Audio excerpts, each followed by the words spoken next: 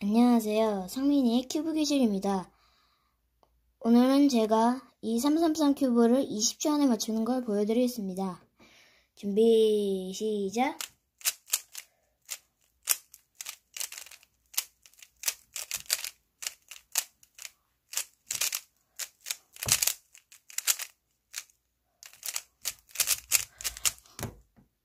어, 13초.